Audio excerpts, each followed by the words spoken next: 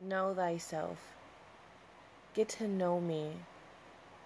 What works, what doesn't work. Take care of me. I'll take care of you. You are my first priority. Go within. I'm talking to you and guiding you. Take all distractions out. When things become overwhelming, look to me for assistance.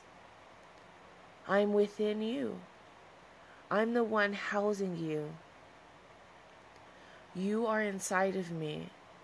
We all work together for the best interest of all body, mind, and soul.